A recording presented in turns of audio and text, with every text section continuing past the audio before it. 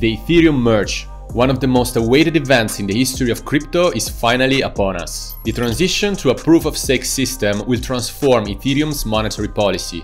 That should greatly improve the network's scalability and security. I think Ethereum does have, just from an economic perspective and um, because of the effect of the supply shock, a chance to flip Bitcoin. In this video, we talk to Ethereum researcher Vivek Raman about how the merge will change Ethereum forever and how it may lead ETH to take over Bitcoin as the leading cryptocurrency. I'm Giovanni, your host. Welcome to another Cointelegraph interview. With the merge, the Ethereum network is going to transition from a proof of work to a proof of stake consensus mechanism. What does that mean for Ethereum? And what are the main improvements that the merge will bring? Absolutely. So the Ethereum merge, I, don't think it's it's um, an overstatement to say it's one of the most uh, important and impressive engineering feats in the whole history of, of the blockchain movement from the founding of Bitcoin, to the founding of Ethereum, and I would say the Ethereum merge is up next. And um, Ethereum started like Bitcoin as a proof of work network with miners um, uh, mining blocks uh, and securing the blockchain that way. Um, but unlike Bitcoin, from basically very, very early in the Ethereum roadmap, Ethereum had it in its goals to transition to fully proof of stake. And there's a lot of reasons for it. Um, uh, the main ones are it, proof of stake makes Ethereum a more economically sustainable um, blockchain, and we can go into detail on the why. Um, it makes it a more secure blockchain. Uh, it's a higher cost to attack Ethereum under proof of stake. Um, we can go into that uh, that detail as well.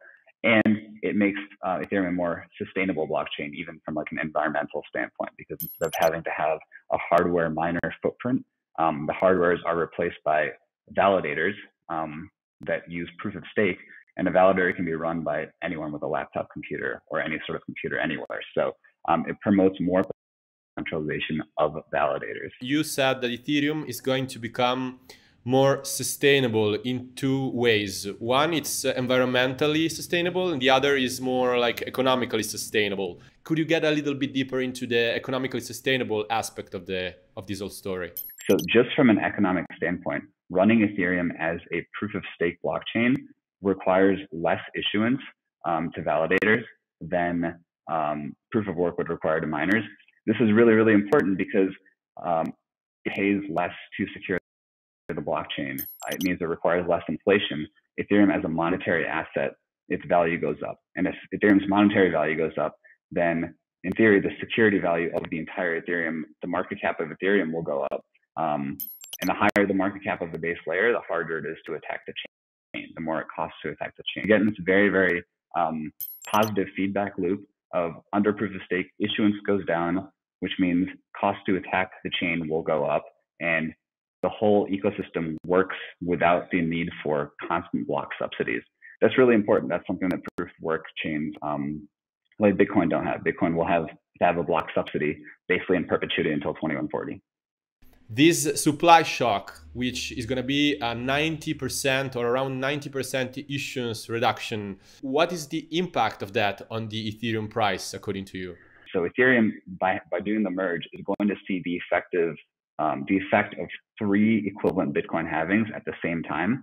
Um, this is just hard. It's hard to see how this will not create a structural change in Ethereum. Instead of having um, uh, issuance, 4.3% inflation, that goes to effectively zero. Um, with a 90% reduction in, um, in issuance, that means effectively 90% less Ethereum issuance that can be sold on an everyday basis. Um, it's hard to see economically how, with a lot less selling pressure, we won't see uh, a reflection of Ethereum's price to the to the upside. Um, we don't know when that'll happen. Usually, Bitcoin halvings when they happen, it takes six six months or something for um, the effect of the lower inflation to kick in. Um, Ethereum is doing three at once effectively, and it, it, it, I think we'll see the effect on day one. Um, sell pressure goes to almost zero. So, in short, I'm optimistic on price. I think it's, it's a supply shock that we've never seen before. We saw that uh, Bitcoin, when when it underwent the last uh, Bitcoin halving, then it skyrocketed to new all-time highs. So I'm super excited to see something similar to happen with Ethereum too. Now I would like to actually ask you, why is it taking so long? So the, the merge, for those who don't know, it's a process that actually started back in 2020, in December 2020, when the Beacon chain was created. So the Beacon chain is the parallel shadow chain where uh, Ethereum has been running on a proof of stake system, mm, while the while the, the, majority of the Ethereum network, of course, is still running on the uh, proof of uh, work uh, system. And the merge will mark the moment where the two chain, the main chain and the beacon chain will merge with, uh, with each other. And so uh, many have compared this uh, process to changing the wheel of a car while the car is moving. So why is it taking so long and what are the main difficulties of this whole process? No, that's an absolutely valid question. And um, again, Ethereum's been talking about proof of stake since very shortly after its genesis. And now, almost eight years later, you would say in 2022, we're getting to the actual merge. Um, the analogy you say about um, uh, the car is valid. I would say it's even more difficult. It's like it's like changing the engine of an airplane while the airplane's mid-flight, and that right there encompasses why it has so much technical difficulty. Um, the majority of DeFi runs on Ethereum, which means a tremendous amount. It's been it's been over 100 billion dollars of value secured on Ethereum. Plus, the NFT world runs on Ethereum. Plus, Ethereum is setting itself as the the proper the digital proper property rights layer, um, where you can basically have your property um, that's embedded into the blockchain.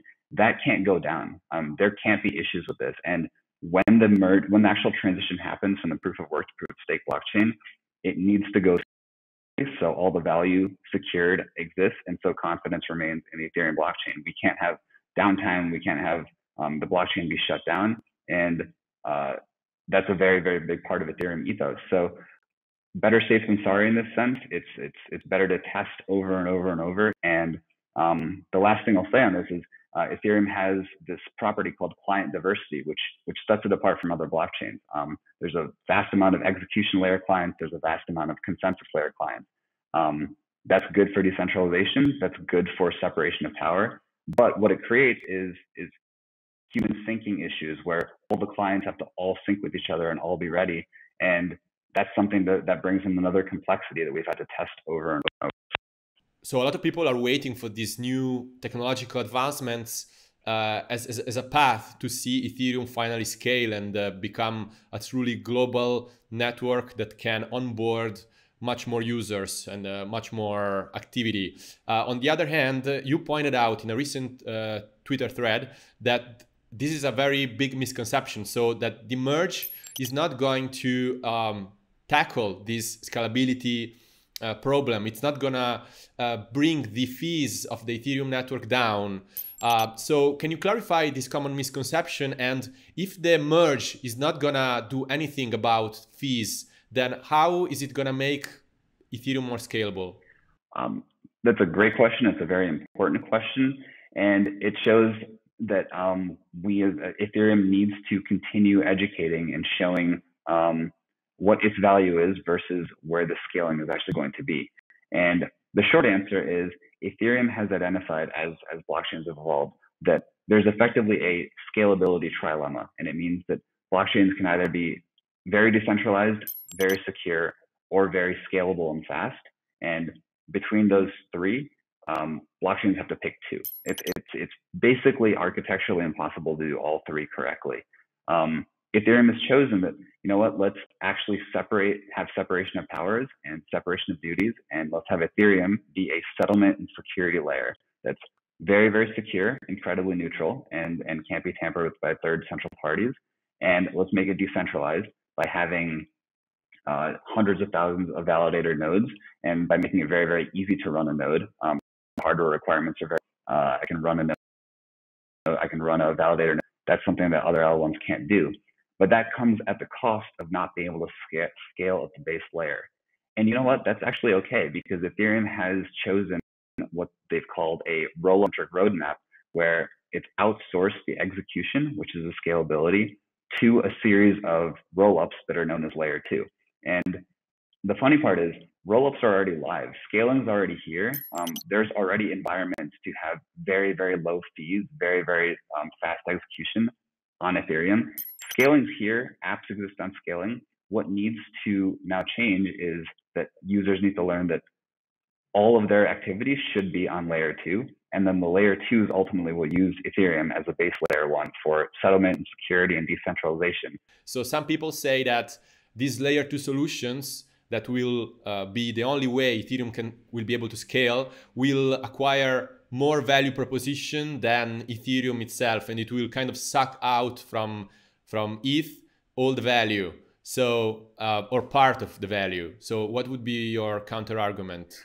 So that, that's a very common criticism, and I would I would sort of uh, point out that that's that criticism is sort of very um, zero sum game.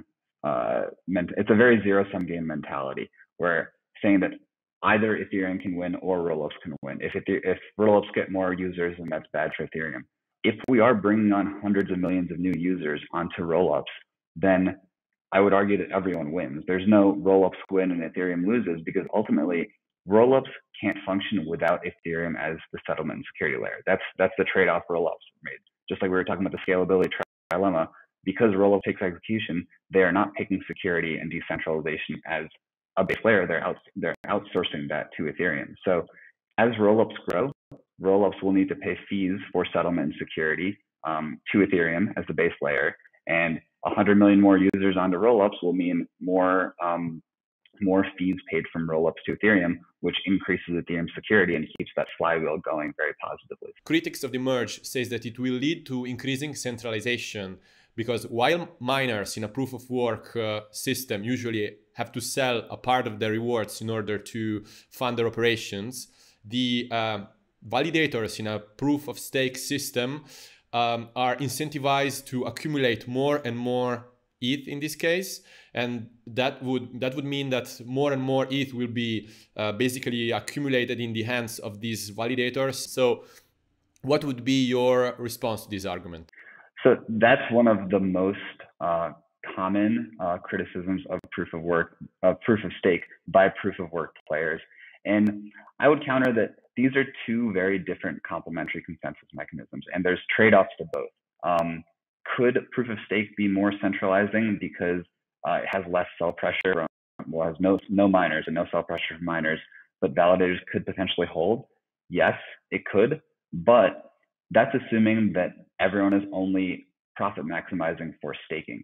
The whole point of the Ethereum economy is it creates use cases and creates a velocity of money. I mean, Ethereum really is the money that's used across the entire Ethereum ecosystem to buy NFTs with collateral and DeFi, to pay for gas, and a bunch of use cases that we probably haven't, haven't even invented yet. Um, the point is to keep recycling money. So there will be validators selling, and that will create more redistribution into the ecosystem. Um, validator validator re- rewards are taxable, so that'll already create, if you assume a 50% tax rate, um, that'll already create a 50% sell pressure from uh, validators over the long run to pay taxes. So there are still decentralizing um, methods. Will it be everything sold from validators versus miners need to sell everything? Not as much. But let's turn to the flip side too. Let's turn to the to the to the mining front. Um, again, I think Bitcoin's a fantastic technology. I think Ethereum and Bitcoin will be very complementary. And um, people that want proof of work exposure will have Bitcoin. People that want um, exposure to digital economy will have Ethereum. But on the on the Bitcoin side, mining is also fairly centralized. Um, mining operates with uh, with uh, with scale. So it's it scales. The better operate the, the, the larger players or the larger mining pools are going to have better economics and are going to scale their operations better. Especially nowadays with power prices going to the roof, it's harder for smaller individual individual miners to set up their own operations. So you could actually argue the same the same phenomenon could happen with with large miners that can happen with validators because the large miners could also accumulate Bitcoin and hold on to it as an investment. So this is just a long-winded way of saying there are trade-offs to both. Uh, you said that Ethereum and Bitcoin will be largely complementary, but on the other hand, on your Twitter handle, you said recently that Ethereum with the merge has all the chances to take on Bitcoin's throne. So that sounds more of a not a complementary sort of relationship, but more of a basically the flippening, right? So Ethereum kind of gaining more value proposition than Bitcoin. Why do you think so? So I don't think those are uh, contradictory statements at all. I mean, complementary doesn't necessarily mean that um, they're equal market cap or the market cap stay the same. Um, gold and uh, tech companies are complementary store of value. Some some pension funds will put money into gold, others will put money into Apple stock, and they're all part of a balanced portfolio. I think in that same sense, um, Bitcoin and Ethereum have very different use cases. People that want an immutable source of money that doesn't have velocity but has the proof of work, um, the, the proven uh, whatever this 13 years of proof of work backing it, we'll pick we'll pick Bitcoin and keep some money in there, and it'll be effectively digital gold. But the uh, the adoption space for Ethereum is much larger for a lot of reasons. One, Ethereum has a staking yield, so institutions um, that want yield um, can express that view with Ethereum. They can stake their Ethereum, they can earn validator rewards, and be part of a digital economy. Also, as a store of value, uh, you want the monetary policy to be as strong as possible. After the merge, Ethereum will have lower inflation than Bitcoin, um, especially with fee burns.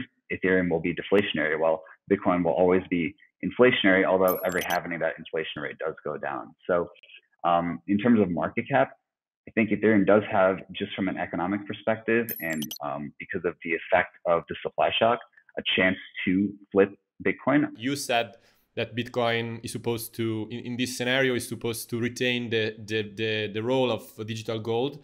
But on the other hand, mm, it, in this scenario, it seems to lose, it, it seems to kind of lose to Ethereum the, um, the role of the better digit, the, the best digital money. So it seems that you kind of foresee that Ethereum will sort of take on at least part of the Bitcoin narrative here. Um, I do. I, it, it's a personal view. Again, this is it's just a personal opinion, but um, based on use cases, based on the fact that Ethereum can have an economy running on top of it, uh, it's, it's, it's program The design space to program on top of the Ethereum blockchain is basically infinite, and the base layer has lower issuance. Um, I think proof of stake will end up being uh, a more sustainable consensus mechanism than proof of work over the long run.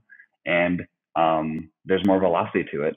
I think the one part that is not too debatable is Bitcoin doesn't really move. Bitcoin has a culture of people hodling, and that's totally okay. I mean, gold doesn't really move either.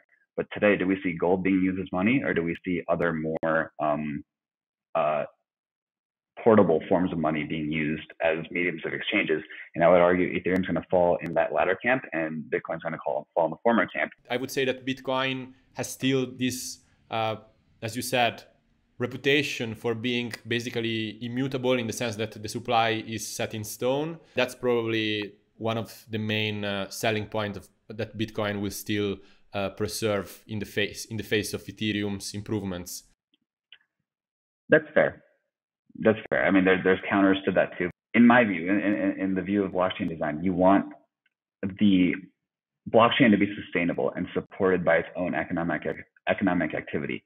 Ethereum has a tremendous amount of transaction fees, and the transaction fees are what cause Ethereum's monetary policy to ultimately be deflationary because 80% to 85% of all transaction fees are, and that creates a deflationary effect to counter the issuance from uh, the block subsidies to validators. Bitcoin, in theory, after 2140, after after a, a, a lot of halvenings, um, will have an inflation rate close to zero. But you still need something to pay miners to incentivize them to secure the blockchain. When that goes away, the question is what will incentivize miners to continue spending all the money on electricity to secure the blockchain? And that's that question has been hand waved away a lot of times, um, saying that it's in 2140 we'll figure it out, or um, that transaction fees on Bitcoin will be high enough to secure miners. I would argue that if the whole point of Bitcoin is to hodl it and to keep it as a as in, in a vault as a form of digital gold, transaction fees are never going to really be higher. And we've seen that over time. If the, uh, Bitcoin transaction fees are, are a fraction of what Ethereum's transaction fees are. So there's a structural issue long term. I think maybe it'll get kicked, the, the, the can will get kicked down the road. But Bitcoin can't have a fixed supply cap and low transaction fees and and no real utility other than hodling for the long term unless there's some change to the protocol. So we'll see what happens there as well. But um, Ethereum is tackling that up front and has economic sustainability from its transaction fees, from its economy, from all the applications that are built on top of it. um, that we haven't yet seen in Bitcoin.